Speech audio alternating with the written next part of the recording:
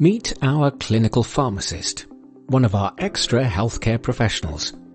When you contact us, we may arrange for you to see them. Based on your needs, an appointment with the clinical pharmacist might be face to face, by video, or by phone.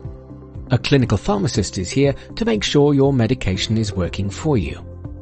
They'll listen to how it is affecting you before making adjustments to improve your well-being. With expert knowledge of medications and long-term conditions such as arthritis, asthma, or diabetes, they can discuss any health concerns you have and support you throughout your treatment. The length of your appointment time may vary depending on your condition and could typically last 10 to 20 minutes.